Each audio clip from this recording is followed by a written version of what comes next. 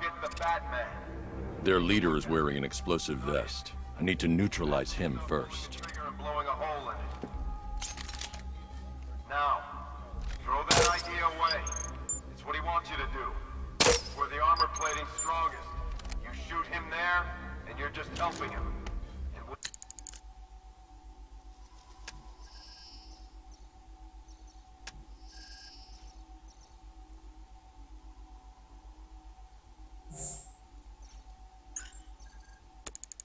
Are not, I repeat, not in the helping him business. Our training, training personally designed by the Arkham Knight, gives us the tactical advantage here. How does he know so much about Batman? Whoa! These guys are packing more firepower than Penguin. Are you thinking what I'm thinking? I can't use any gadget that will alert the soldiers until I've defused the leader's explosive vest. Oh, you could say I have a vested interest.